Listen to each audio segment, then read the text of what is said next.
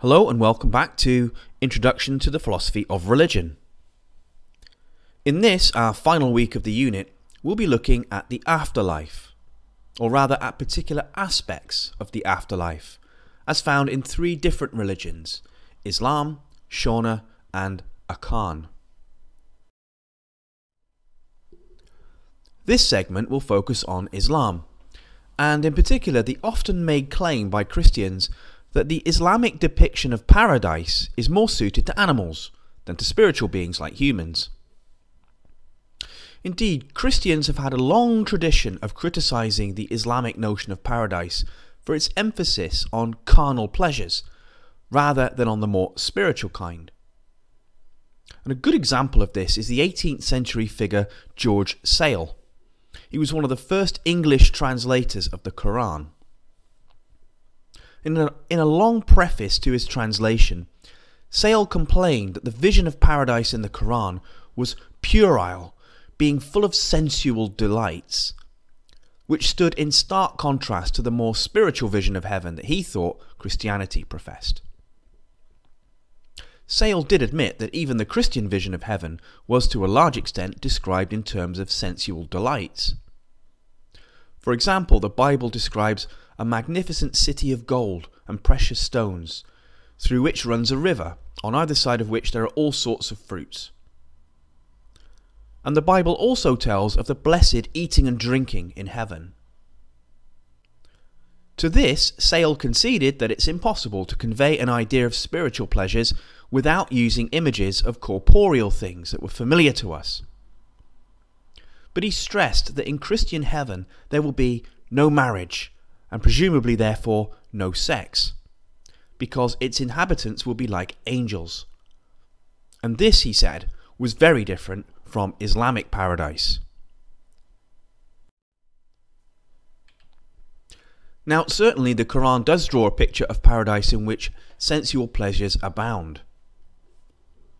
Hence, we're told that inhabitants of paradise will dwell in palaces, dress in fine garments, wear silver bracelets, sit on comfortable couches surrounded by cushions and carpets, and be served delicious food and drink. All around are flowing streams or springs, some of pure water, others of honey, or milk or wine. But perhaps the most intriguing and controversial carnal feature of Islamic paradise is the presence there of houris, paradise companions provided as a reward for believers, or at least for male believers. As you may know, this idea is often thought to be a motivation for modern day jihadists. Back in 2004, a 16 year old boy strapped with explosives was stopped at an army checkpoint in Israel. During interviews, he revealed that he'd been motivated by the thought of being rewarded with 72 virgins in paradise. The belief that the Islamic faithful would be rewarded in paradise by 72 virgins was even the cornerstone of the first novel written by our current Prime Minister back in 2004. And the novel is actually called 72 Virgins. In this segment, we'll look at the basis for the idea of paradise companions, virgins or not, and we'll consider whether the Islamic afterlife is more sensual than spiritual.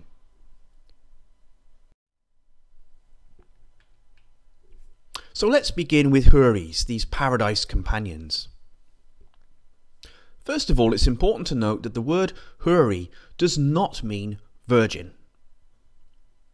From the word Houri, we can ascertain that the defining feature of these creatures is their eyes.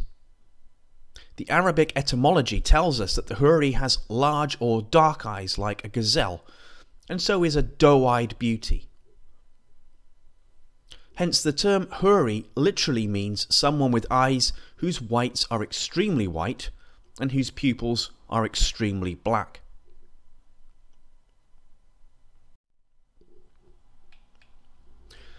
Now, there are four explicit references to Houris in the Quran. And from these, we can ascertain that the Houris are female, beautiful, pure, kept hidden from the general gaze, and rewards for believers, or at least for male believers. The statement that the Houri restrain their glances is typically taken to mean that they look at no one except their own husband. In other words, the believer to whom they will be married. It's also notable that every time the Quran mentions the Houri, it's in the context of other delights of paradise, such as flowing springs, delicious food and drink, fine clothes, comfortable seats, and so on. By including the Houri in the catalogues of the delights of paradise, the clear implication is that they are there to be enjoyed. But enjoyed how exactly? Well, clearly their beauty would be a source of enjoyment, but the fact that men will be wed to them may suggest that they're there to be enjoyed sexually as well.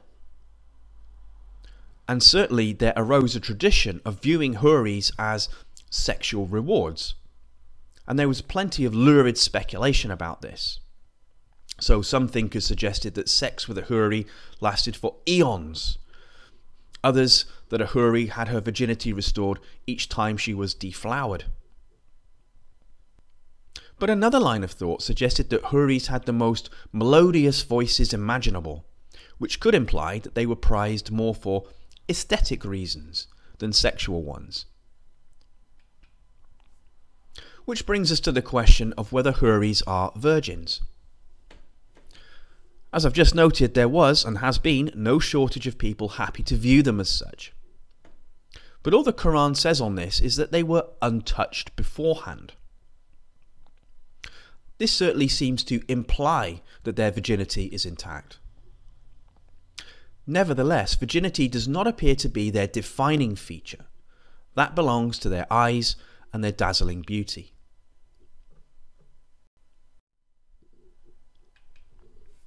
As you can imagine, the Houris have provoked a lot of discussion among scholars since the Quran was written.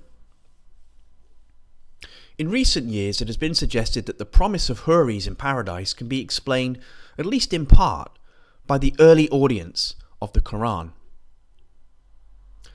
The Quran is said to have been dictated to the Prophet Muhammad over the course of 22 years, and the composition of the Quran is generally divided into four distinct periods of Muhammad's life. During the third of these periods, the Houris disappear from Revelation, and they're not mentioned again. During that same period, we start to see references to earthly spouses as one's companions in paradise, or rather to spouses that have been made pure. Now, the two cannot be the same because Houris are created specifically for paradise. They are pure by nature, and so have no need to be purified, whereas human spouses would. So it looks as though the message changes over the course of the time the Quran was written. In the first decade or so, Houris are presented as the afterlife companions and reward of men. In the second decade, Houris disappear altogether, and instead the message is that we will be accompanied in paradise by our purified spouse, or spouses. In this context, spouse refers both to male and female spouses, suggesting that it will not just be men who have companions in paradise, but women as well. So, what would explain the shift in message? According to one scholar, in the early years, the Quran was pitched to an audience of prominent patriarchs in a patriarchal society, and its message had to reflect that. Specifically, the Quran had to entice and persuade these powerful men by offering what was likely to appeal to them. And indeed, it's notable that the early depictions of life in paradise would seem to parallel the sort of life that powerful patriarchs of the time would have enjoyed in this world or aspired to, at any rate. After all, it was not uncommon for powerful men at the time to own slave girls, with whom they could have sex whenever they please. And they would also own singing girls, whose role was to look and sound good. It's unclear whether the owners of singing girls would expect sexual favours from them, but this cannot be ruled out.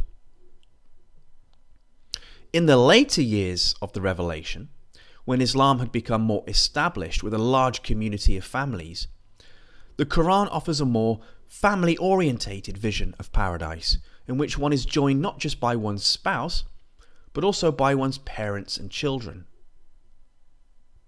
And this might suggest that the early inclusion of the Houris was something of a ruse to win converts among powerful men who could be expected to be swayed by the promise of wide eyed maidens, whether that be because of their beauty and voices or because of their ready availability for sex.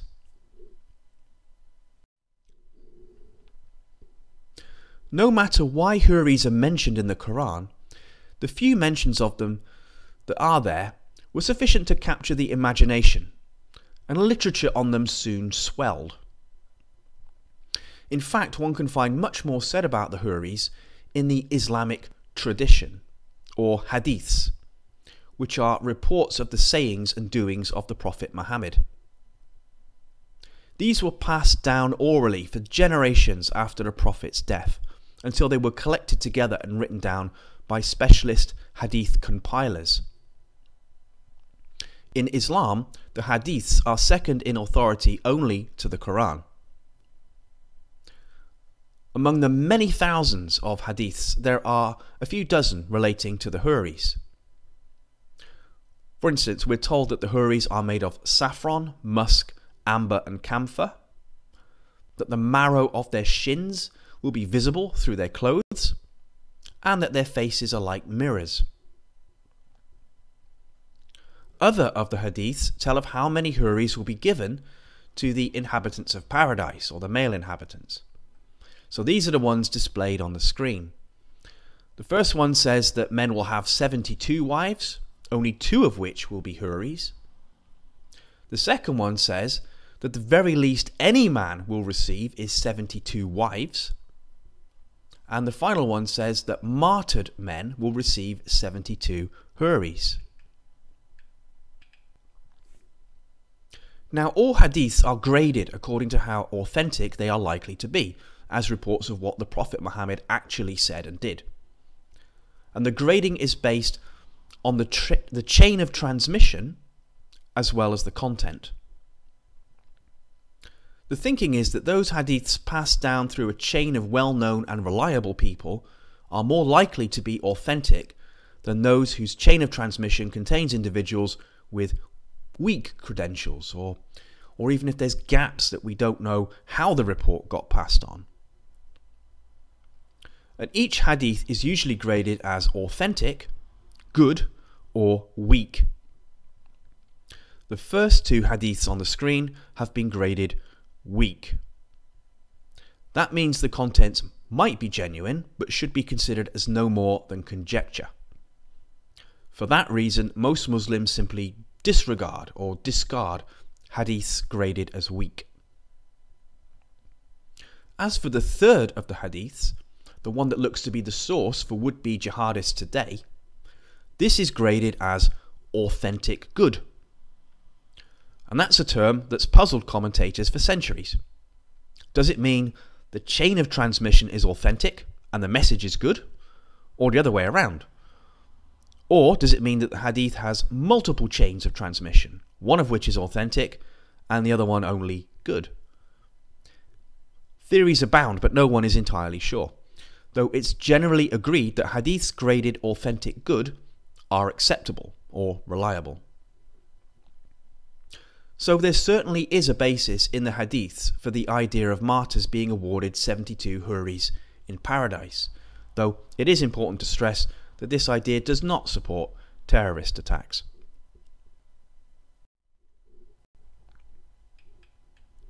Despite this, such an idea is now considered something of an historical embarrassment among many Muslims.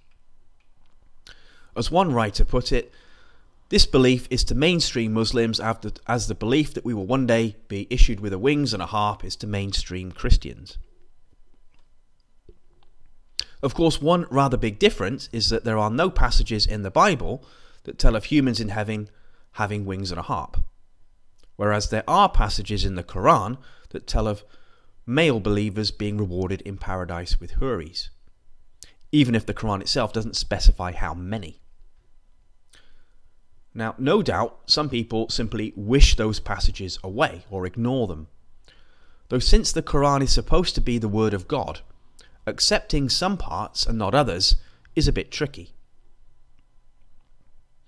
For this reason, there have been a number of recent efforts to rehabilitate the idea of Houris rather than simply sweep them away.